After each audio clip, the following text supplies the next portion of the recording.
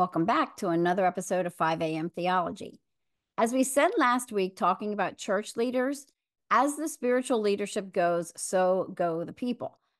That was also true of ancient Israel's kings. As the king went, so did the people. What does God do?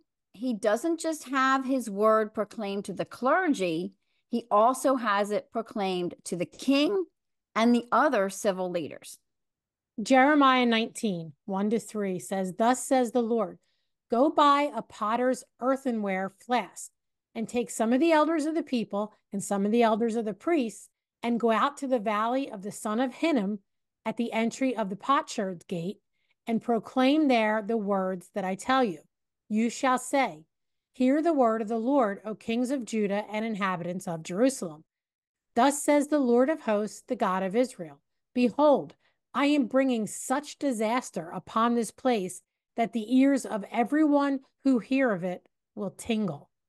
The elders of the people that Jeremiah is told to prophesy to about the coming destruction in verse 1 were the men who, throughout scriptures, sat at the city gate where business and personal transactions were made, court was held at times, public announcements were made, and stuff like that.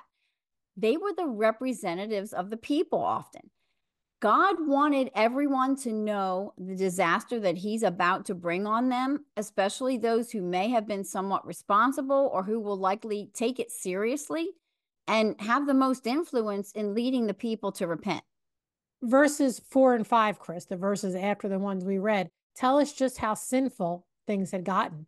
It says, Because the people have forsaken me and have profaned this place by making offerings in it to other gods, whom neither they nor their fathers nor the kings of Judah have known, and because they have filled this place with the blood of innocents, and have built the high places of Baal to burn their sons in the fire as burnt offerings to Baal, which I did not command or decree, nor did it come into my mind.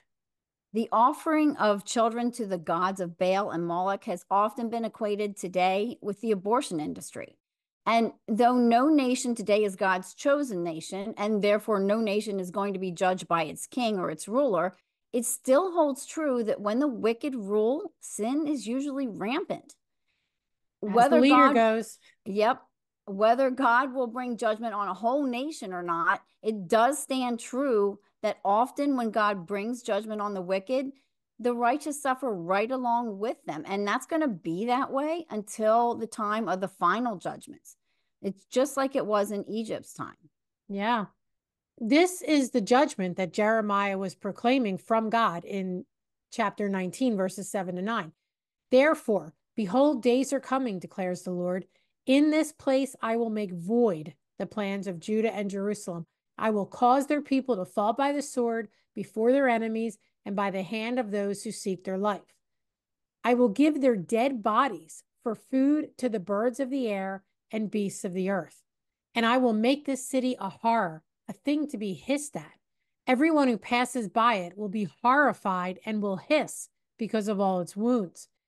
And I will make them eat the flesh of their sons and their daughters, and everyone shall eat the flesh of his neighbor in the siege and in the distress with which their enemies and those who seek their life afflict them. And Chris, we see exactly this happen later on. Yeah, we do. Wicked rulers need to hear God's word and his warnings that he gives just as much today as they did in the prophet Jeremiah's day. All Christians, whether pastors or congregants, need not be afraid to proclaim God's word in the public square we need to call our leaders to repentance and to righteousness by letter, in person, or even, like I said, in the public square. We need to pray for their salvation. We need to pray for them to rule justly. And we need to pray for them to uphold what they're sworn to do.